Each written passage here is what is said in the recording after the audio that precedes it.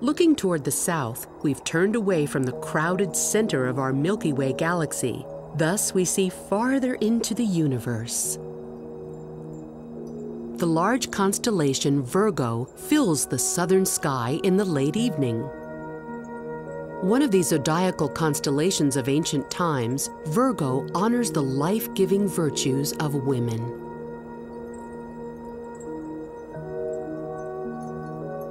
Using a pair of binoculars, visit the Virgo cluster of galaxies. These tiny smudges of light are galaxies far away from our own Milky Way, each aglow with the light of billions of stars.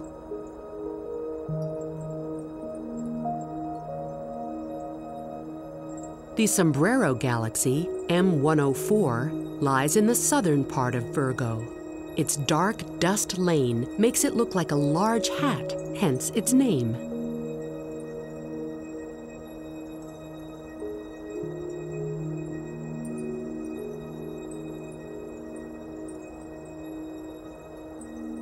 Two smaller constellations lie above Virgo. Coma Berenices honors a queen who gave her long hair to the gods to ensure her husband's safe return from war.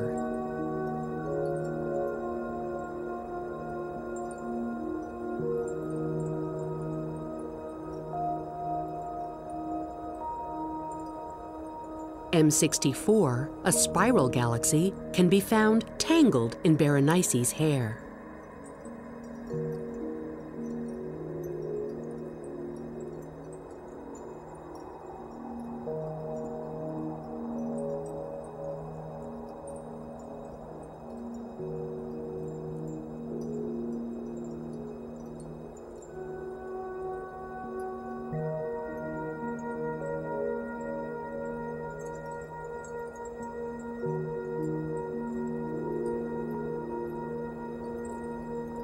Canes Venatici represents the hunting dogs of the gods.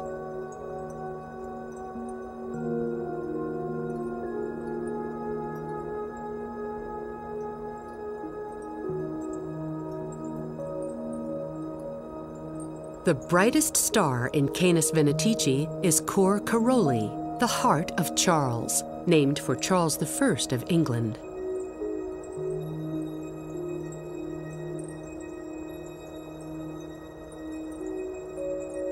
M51 in Canes Venatici is known as the Whirlpool Galaxy.